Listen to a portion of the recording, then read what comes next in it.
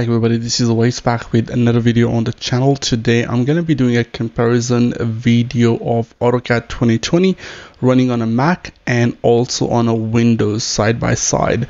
Now i started my youtube channel creating AutoCAD tutorials. I've been focusing on software development web development mobile application development uh, for last few years. So i haven't been creating much videos about AutoCAD well, I'm gonna start creating AutoCAD tutorials again because I've got my hands on AutoCAD running on a Mac operating system. But this video, I'm gonna compare AutoCAD running on a Mac versus running on a Windows.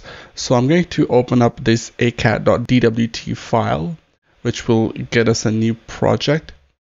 There we go. So now, if you know AutoCAD or if you've played with AutoCAD on a Windows, you might be seeing a lot of things are different compared to Windows. So let's take a look at how it looks like on a Windows. So here's AutoCAD running. I'm going to start drawing and you will notice the difference between the UI. Well, if you know the basics of how to draft a plan or make a 3D model in any application, you will find your way around. But here in this video, we, let's compare the UI differences. But obviously AutoCAD running on a Mac will do pretty much everything which you can do with Windows version. I'm not sure how it's gonna perform. I'll be creating some plans using AutoCAD on a Mac uh, but for now I'm just gonna compare the UI in this video. So the first thing you notice that the UI for this drafting panel is on the left compared to on a Windows which is on the top. So if I go to home, you will see all the options.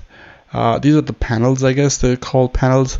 So all of them are basically on the top. And I know uh, from the from my AutoCAD knowledge that you can configure this the way you like it. Uh, and this kind of UI on Windows AutoCAD came in like in 2000, uh, I think 10 version. Before that, AutoCAD had a different UI. Okay, so here we got a home panel. You got all your uh, command palettes like draw command palettes, modify, annotation, layers, block, properties, groups, clipboard, and view, right? All of these things will be available here as well, but they are like on the left.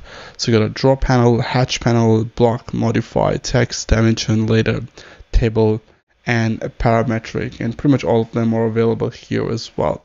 If I go to insert menu, you will see uh, there's no insert menu here, but you have this uh, actually the menu on the menu bar. You can click on this insert, and you'll have this block WD, uh, DWG reference PDF.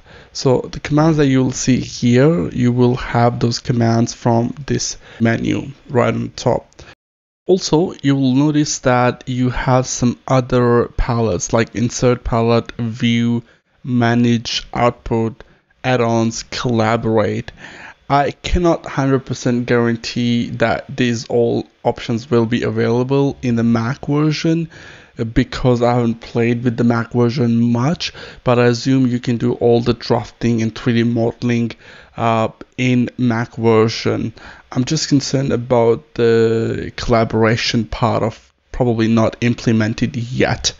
Okay, so now if we look at this modeling menu here, I don't know, call it palette, menu, whatever it is. But if I click on the modeling, you'll see a solid surface, mesh, UCS, draw. So on a Windows version, you're gonna have to click on this button here and I go to a basic 3D uh, 3D basics, 3D modeling. Okay, click on 3D modeling. You'll see the top home solid surface mesh that came up. You gotta visualize, and I'm not sure if the visualize is here as well. So there we have a visualize, but you got only two commands right now. But on a Windows version, you'll see you got a lot more. So obviously the Windows version of AutoCAD is much more mature, I would say. By looking at just the UI, there's a lot of options that I think I might have to find out or they're not available out of the, you know, just right on a default view. If I go back to Windows version and we're going to go to drafting and annotation viewport and then here you'll see we have layers palette here. Okay within layer palettes you can turn on off make layers smash layers or you know layer related commands. Those commands you'll find here. These are all the layers.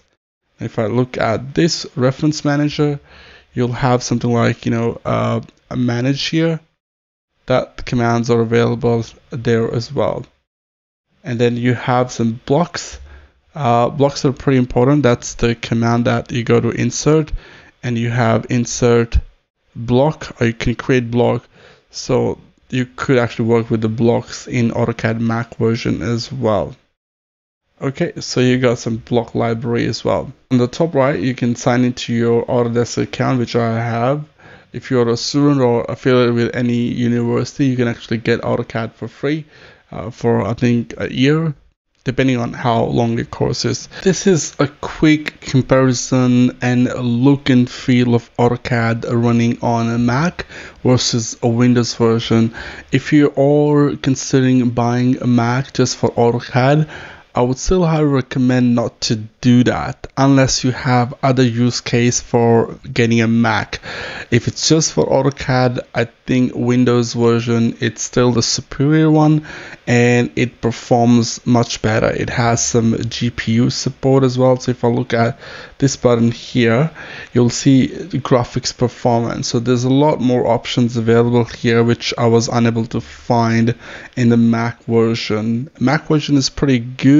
If you already have a Mac, then you have an option to install AutoCAD. But if you don't have a Mac and you're considering buying a Mac just because of AutoCAD, let me tell you, don't do it. Uh, version of uh, Windows version is pretty good and it offers a lot more than you can get on a Mac compared to money wise. So you spend less money on a Windows computer and get better performance compared to you're gonna spend money on uh, on a Mac now on my screen you can see I'm running AutoCAD the Windows version and also a Mac version on the same computer and I'm able to still record screen and create this video. So the reason for that is because I am using MacBook Pro 16 inch with 32 GB RAM uh, that's how I'm able to run Windows 10 using Parallels and running AutoCAD on that. I haven't really tested out the performance, but it seems pretty good. I can actually work with 2D and 3D uh, using Parallels. But if you're considering a Mac, for AutoCAD, you're gonna have to make sure you have a good enough spec. Like I would highly recommend to get at least 16 inch MacBook Pro with at least 16 GB RAM. Well, the baseline comes with 16 GB, uh, but consider getting 32 GB uh, for the future proofing as well. And because this requires a lot of graphics performance when you have a 3D models and you're gonna render them, uh, I would highly recommend to get MacBook at least with a discrete GPU. Uh, if you really go with the lowest, like the base model MacBook Air, I'm not talking about the M1 chip, but you know MacBook Air like older ones uh, I wouldn't recommend them at all for AutoCAD because it, it will not run fine. I've tested it on a MacBook Air and MacBook Pro dual core one. Uh, it doesn't perform very well. So that was my quick comparison AutoCAD on a Windows and a Mac. I'll be creating a lot more tutorials on a Mac version and I will do a full crash course on AutoCAD version 2020 as well. So stay tuned for that, subscribe to the channel and I'll talk to you guys in the next video. Cheers. Bye.